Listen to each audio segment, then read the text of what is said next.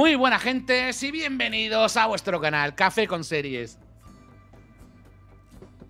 Pues ya está próxima la hora del estreno de la serie de Fallout en Prime Video. Y la verdad, me ha parecido muy buen momento para hablar de los orígenes, de los orígenes de todo este universo que nos va a presentar la serie, ya que Prime Video se ha preocupado en hacernos saber que la serie es canon dentro del universo de los videojuegos y demás. Así que eh, los acontecimientos que llevaron a la situación que se desarrolla en la serie son los mismos que ya conocemos a lo largo del tiempo. Y la verdad que este universo que se nos presenta futurista y posapocalíptico con elementos de los años 50 es de lo más de lo más interesante. Así que sin más, vamos a introducirnos en el universo de Fallout.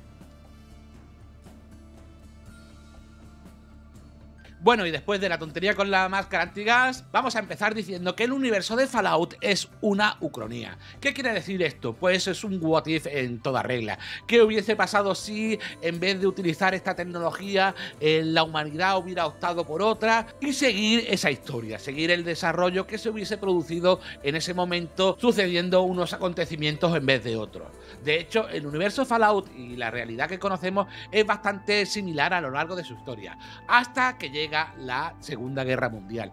Aquí, tras terminar la misma, ya se produce una desviación de una realidad a la otra. En la realidad de Fallout, tras la Segunda Guerra Mundial, vemos como los Estados Unidos se posicionan como la gran potencia mundial. Y al poco, y al poco de acabar la guerra, la Unión Soviética en los años 50 replica y mejora la bomba nuclear. De hecho, será el año 1951 cuando los soviéticos prueben con éxito su primera bomba. Y esto dará lugar a lo que conocimos como la Guerra Fría. Pero ¿qué ocurre? Que en este mundo, en este universo, realmente la Guerra Fría no acabará, ya que a pesar de que la Unión Soviética, como ocurrió en nuestra realidad, acabará cayendo, en este caso no solo por quedarse atrás tecnológicamente con respecto al capitalismo, sino que también se sufrirá una guerra civil interna, pero en el universo de Fallout, el lugar que ocupaba la Unión Soviética será ocupado inmediatamente después por China, por lo que en este caso la Guerra Fría no finalizará. El periodo tras la Segunda Guerra Mundial en Estados Unidos fue un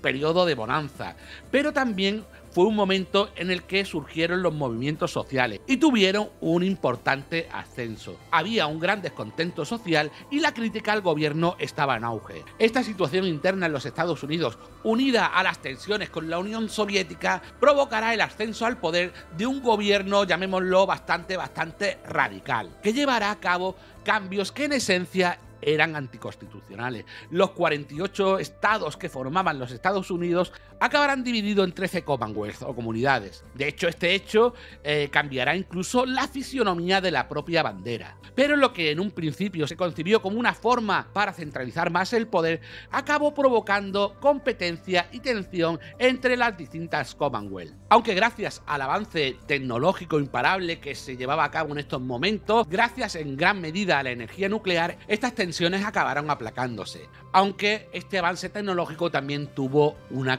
contraparte. Cada vez se necesitaban más recursos, sobre todo petróleo el cual era cada vez más escaso. Así llegaremos a un momento en el que en los Estados Unidos y Europa las reservas de petróleo se agotan. Esto llevará a Estados Unidos a adoptar cada vez medidas más hostiles y poner sus ojos en México, al cual con diferentes excusas ahogarán a sanciones y acabarán anexionando en 2051 para explotar sus recursos petrolíferos. Por su parte, los países de Oriente Medio, debido a la escasez del petróleo, empezaron a subir cada vez más y más los precios algo que afectó notablemente a la comunidad europea, la Commonwealth europea, la cual acabará invadiendo y atacando la zona, iniciándose así lo que se conocerá como la guerra de recursos. La ONU intentó interceder para lograr una paz, pero cada vez más países abandonaban esta organización que acabará desapareciendo en este momento. Mientras esto sucedía en Oriente Medio, el bloque comunista, con China a la cabeza, tampoco se quedó atrás y empezó a anexionarse los territorios cercanos. Esta guerra de recursos será una guerra larga, durará por lo menos ocho años y acabará no porque se llegue a ningún tipo de acuerdo, sino porque los pozos petrolíferos se acabarán secando. Europa abandona el lugar, pero tras abandonarlo llevó a cabo un ataque nuclear sobre la zona. Con anterioridad también Israel había sido borrado del mapa con una explosión nuclear. Tras estos sucesos, todo el mundo se pone alerta y los Estados Unidos, para prepararse para lo que podría ser un posible ataque nuclear, firma un acuerdo con la empresa Vaultec para la construcción de 122 refugios nucleares. Aquí realmente las intenciones del gobierno estadounidense y de la empresa no eran exactamente las mismas, ni muchísimo menos. Mientras que el gobierno quería contar con estos búnkers por si se iniciaba una guerra nuclear, eh, las personas que ellos consideraban valiosas para el resurgir de los Estados Unidos se protegieran durante el tiempo que durara la radiación y demás, y después volver y reconstruir la civilización, eh, tenía motivos más turbios, motivos más turbios que por lo que hemos podido observar en el tráiler de la serie, seguramente podamos ver algunos de ellos en los diferentes episodios. Vaultec usó varios de estos refugios para llevar a cabo experimentos, experimentos algunos de ellos de los más de los más sórdidos.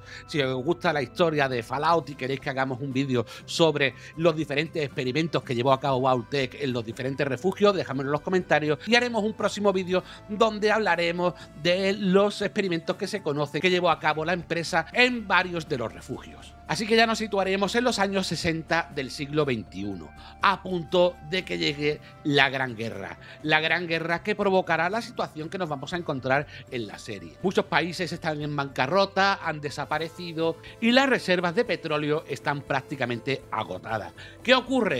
Que Estados Unidos cuenta con Alaska y aquí se ha descubierto que existen nuevas reservas petrolíferas. China le pedirá a Estados Unidos petróleo, que le suministre este valioso oro negro.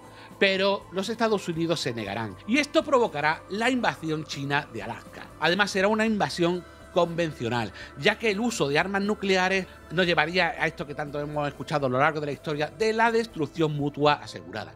Así que, eh, de manera tradicional, con un ejército y demás, China invade Alaska, lo que dará paso a la guerra sino-americana que se iniciará en el año 2066. En un primer momento, Canadá se mantiene neutral, pero es convencida por los Estados Unidos para que le deje pasar sus tropas y demás por el lugar.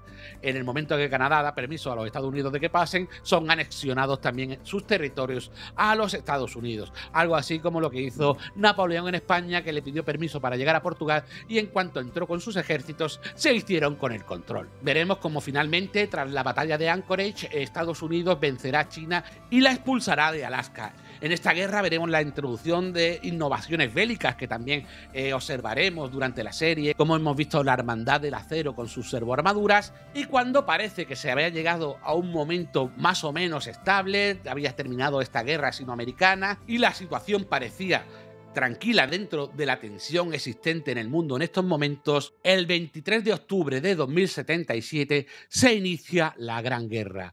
Hay una guerra nuclear entre Estados Unidos y China. La verdad que nunca queda claro si la guerra la inició China, hay mucha gente que apuesta por ello. Tras la derrota en Alaska, tras haber perdido parte de sus territorios en favor de Estados Unidos, eh, se vería totalmente ya abocada a la desaparición y llevaría a cabo el ataque. Otra gente piensa que no, que fueron los Estados Unidos que quisieron exterminar a su rival de una vez por todas. Pero hay una tercera vía, una tercera vía con la que se ha teorizado mucho a través de las redes sociales, que esta guerra la iniciara Bautec y la verdad que encajaría perfectamente. Ellos querían llevar a cabo sus experimentos en los refugios, ellos no querían frenar su investigación y es muy probable que Vaultec fuera quien encendiera esa primera chispa que acabaría con la destrucción entre China y Estados Unidos. La Gran Guerra, la Gran Guerra que es un evento de lo más llamativo, que es el elemento fundamental del universo Fallout, que tan solo duró dos horas, ya que en dos horas se lanzaron todas las armas nucleares de Estados Unidos y China